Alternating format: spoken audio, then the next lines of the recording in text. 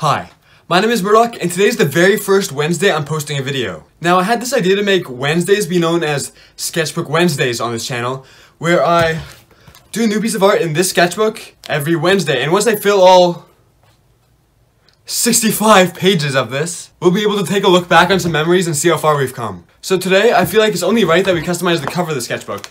And what's great about this sketchbook is that it actually comes with a cover that's meant to be customized. See, it's like a teal blue color. Personally, I think, like, just the people who made the sketchbook, I think that's a really great design. But anyways, let's do this.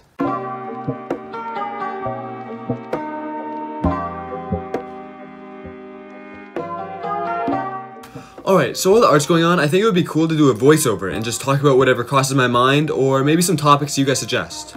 With that being said, if you have something you want me to draw in the sketchbook series, or topic you want me to talk about, leave a suggestion in the comments below. Now getting into today's discussion.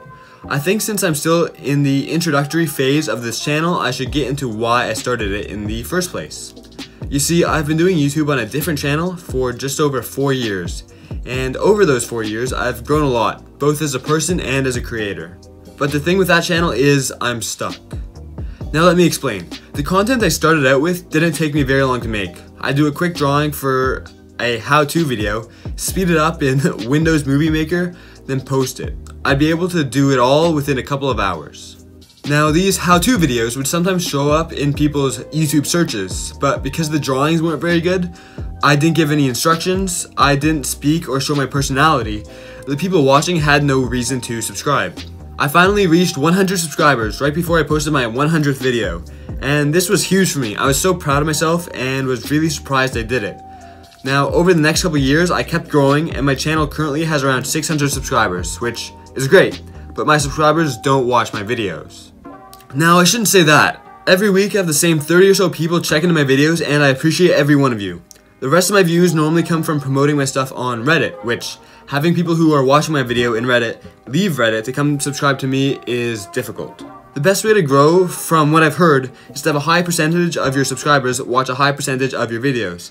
Well, I have around 600 subs, and only around 30 of them watch my videos, meaning around 5% of my subscribers watch my videos, which is not great, especially for a smaller channel like me.